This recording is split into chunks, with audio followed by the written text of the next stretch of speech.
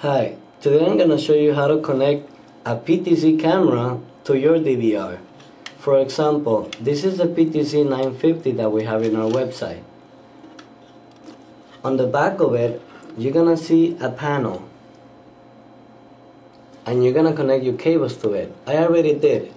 This two cables is for the video. These other two cables that look like telephone wires there for the RS485 this is to control the camera and this other cable is for the power. Now let's connect it on the back of the DVR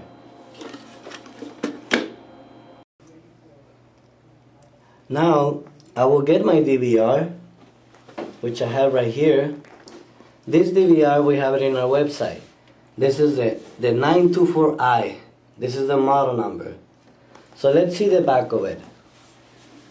On the back, it has, I don't know if you can see it clearly, but it has this part where it says RS485.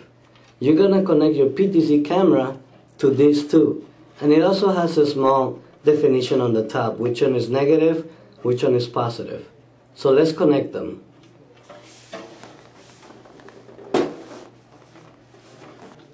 Alright, to connect now the cables, make sure you see first which cable in your RS485 connector on the PTZ camera is the negative or the positive. In this case, I have the white one as the negative and I have the brown one as the positive. So now let's connect it to a DVR.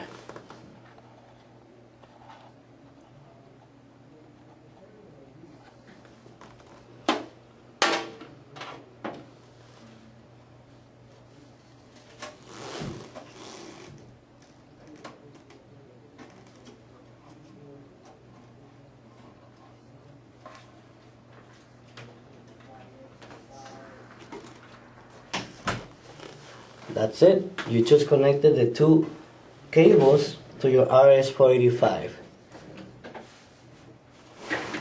Once you have connected the DVR and the monitor, you're gonna plug the power to the PTZ and you're gonna be able to see a boot up menu which it will come up.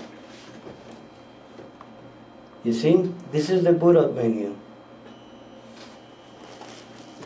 This is the boot up menu. Make sure you see what it says. It's going to show you on what protocol it is, what address it has, and what is the baud rate. You're going to copy these three settings to set them up on the DVR so you'll be able to move the camera. I will show you right now.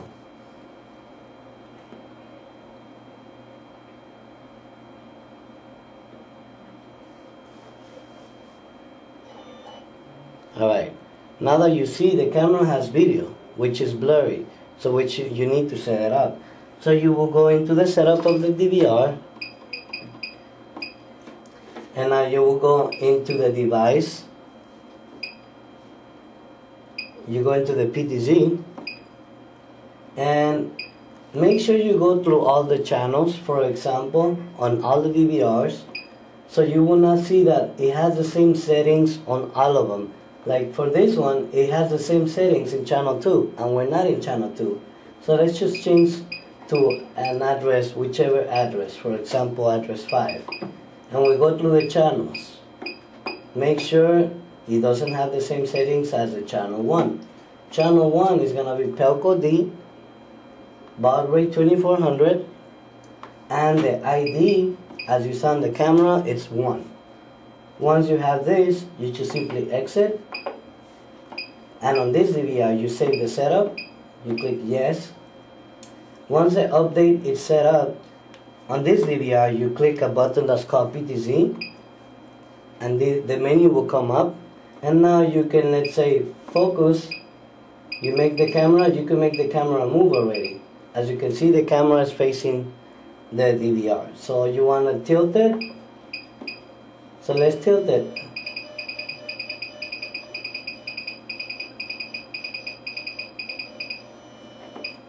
You can make the camera tilt fast or tilt slow. Up or down.